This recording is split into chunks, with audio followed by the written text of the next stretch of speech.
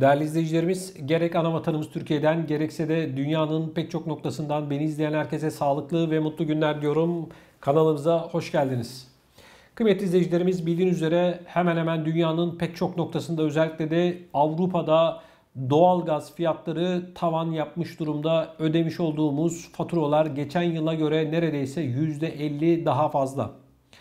Maalesef bu tablo önümüzdeki günlerde daha da ağırlaşacak. Özellikle Ukrayna ve Rusya arasındaki bu gerginliğin en acı faturasını Avrupa'da yaşayan insanlar ödemeye çoktan başladılar. Rusya son 10 yıldaki en düşük gazı şu anda Avrupa'ya veriyor. En düşük oranda Gazprom biliyorsunuz Rusya'nın dağıtım şirketi teknik nedenleri bahane ederek Avrupa'da şu anda fiyatların artmasının en büyük sorumlusu. Danimarka artan bu doğalgaz faturalarıyla ilgili bir adım attı ve hane geliri yıllık 550 bin krona kadar olan her eve bir sefere mahsus olmak üzere 3750 kron yardım yapacağını açıkladı. Bununla ilgili karar meclisten geçti, yasalaştı. Önümüzdeki günlerde bununla ilgili çekler evlere gönderilecek. Şimdi bakın değerli izleyicilerimiz güzel bir adım. Yeter mi? Hayır yetmez. Bu başka bir şey.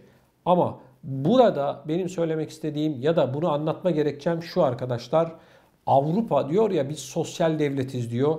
Böylesine zor ve sıkıntılı bir dönemde vatandaşının yanında gerçek anlamda Avrupa'nın olmadığını görüyoruz. Bakın hayat Avrupa'nın tamamında geçen yıla göre minimum arkadaşlar bakın minimum %25 pahalı hale gelmiş vaziyette. Markette, çarşıda, pazarda vatandaşın yani temel gıda ihtiyaçlarını, temel ihtiyaçlarını karşılamış olduğu noktalarda pek çok ülkede bu fiyatlar %30, %35'e kadar çıkıyor.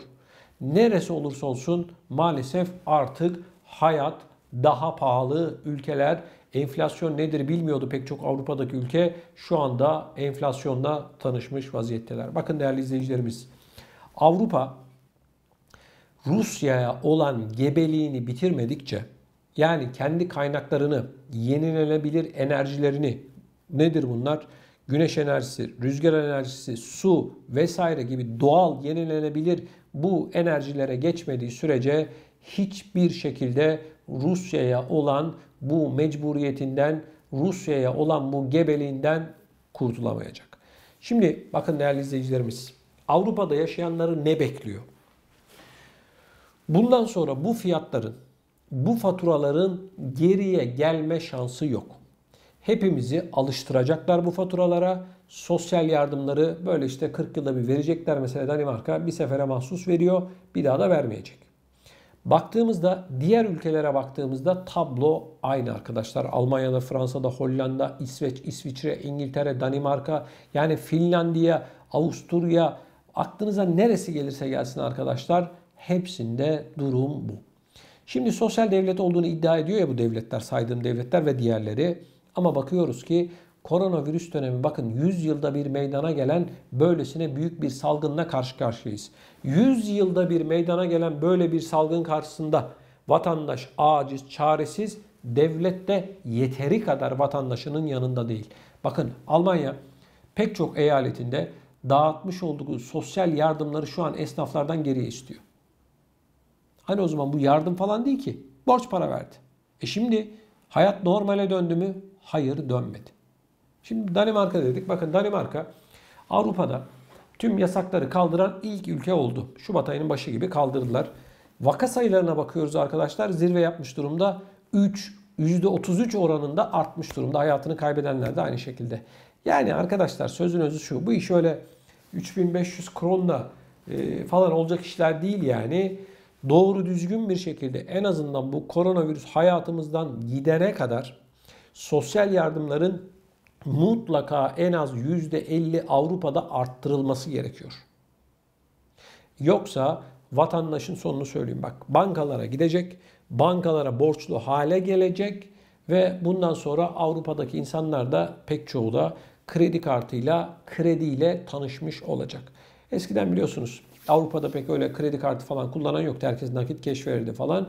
Ama öyle bir noktaya geldik ki insanlar mecburiyetten kredi kartına krediye sığınıyorlar. Aynı Türkiye'de olduğu gibi. Maalesef tablo bu. Danimarka ve diğer Avrupa ülkelerinde en zor durumda olan kesim arkadaşlar emekliler. Gerçekten emeklilerin durumu çok çok kötü. Özellikle de bu koronavirüs döneminde artan fiyatlar nedeniyle vatandaşın beli bükülmüş vaziyette. Emeklilerin pek çoğu arkadaşlar pek çok Avrupa ülkesinde almış olduğu maaşla artık ay sonunu getiremiyor. Eğer sosyal yardım almıyorsa zaten bununla geçinebilmesi mümkün değil. Bakın Avrupa'nın ekonomik olarak en büyük ülkelerinden bir tanesi olan Almanya'da şu anda emekli maaşı ortalaması 900 euro. Ev kiraları uçmuş. Market, çarşı, pazarda yangın var.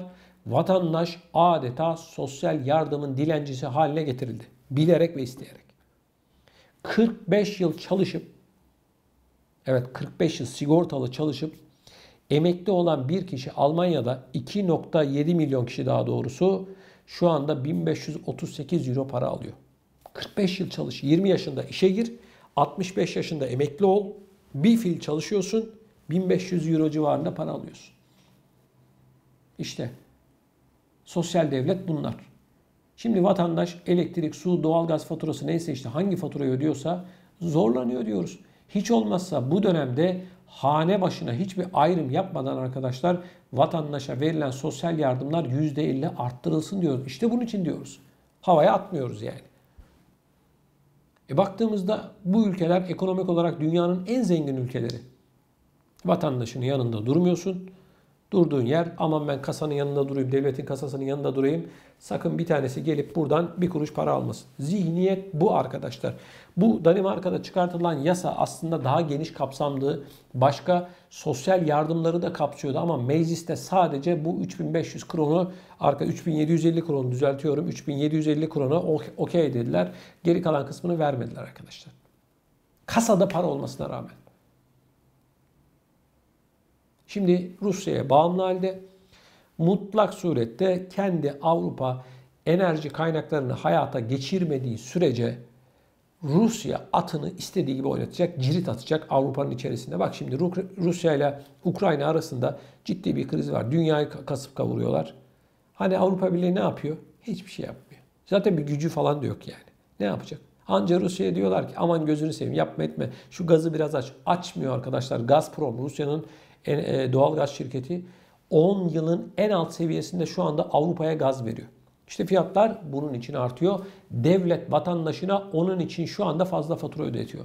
Kendi basiretsizliğinin yüzünden yaşayan halk şu anda bu faturaları öderken zorlanıyor. İşte arkadaşlar. Yani sözünüzü Avrupa Avrupa diyoruz ama Avrupa artık eski Avrupa değil. Avrupa Birliği'nden önce bakın bana göre Avrupa Birliği'nden önce Avrupa'da yaşayanlar daha şanslıydı. Avrupa Birliği'nin kimi şansı hangi ülkeler biliyor musunuz? Ekonomik olarak işte Bulgaristan, Yunanistan, e, Kıbrıs Rum kesimi, işte yani bu tarz hani ekonomisi iyi olmayan ülkelere Avrupa Birliği büyük piyango. Ama Almanya'da, Fransa'da, Hollanda'da mesela bunlardaki insanlar kendi Avrupa Birliği'nden önceki döneme göre şu anda daha kötü yaşıyorlar. Bakın Frank dönemini hatırlayın. Mark dönemini hatırlayın. Hangisi daha iyiydi? Özellikle yaşı benden büyük olanlar daha iyi hatırlayacaktır o dönemi. Bana göre eski dönem daha iyiydi.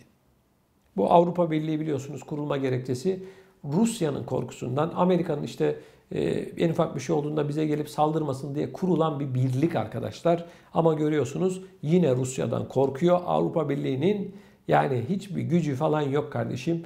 Putin hatırlıyor musunuz? Yani hatırlayacaksınızdır. Fransa Cumhurbaşkanı Macron ya da Almanya e, şansölyesi Sayın Scholz gittiğinde ne yaptı? Onun masanın ta tepesine oturtturdu, öbür tarafına oturtturdu bunları. Oradan böyle adam yerine bile koymadı. Yani Avrupa Birliği, Avrupa Birliği diyor. Rusya ne yapıyor? Ne yaptırımı var? Soruyorum size. Ekonomik birkaç tane ufak tefek yaptırım var. Başka da hiçbir şey yok. Hiçbir gücü yok çünkü Rusya'ya karşı. Hiçbir gücü yok. Yaptıkları tek şey vatandaşa faturayı ödetmek. Bak bu olayla ilgili Ukrayna-Rusya savaşı ile ilgili en ağır faturayı Avrupa'da yaşayanlar ödeyecek. Göreceksiniz fiyatlar nasıl uçacak. Gerilim artıyor. Ne diyelim arkadaşlar? Hayırlısı diyelim. Evet değerli izleyicilerimiz sizler de bu konuyla ilgili olarak görüşlerinizi videonun altında bulunan yorum bölümüne yazarak bana iletebilirsiniz. Bunun yanı sıra eğer bana iletmek istediğiniz özel bir mesaj, özel bir durum ya da bunun yanı sıra gündeme getirilmesini istediğiniz bir konunuz varsa bunu da kanalımızın Instagram ve Facebook, Facebook başta olmak üzere bu hesaplarından, sosyal medya hesaplarından bana iletebilirsiniz, bana ulaşabilirsiniz. Sizden ricam şu, gerek Türkçe Haber'in gerekse de Emekli TV'nin Facebook ve Instagram hesaplarını takip etmeniz. Bunun yanı sıra eğer bu videoyu beğendiyseniz de mutlaka like atmanızı sizlerden rica ediyorum.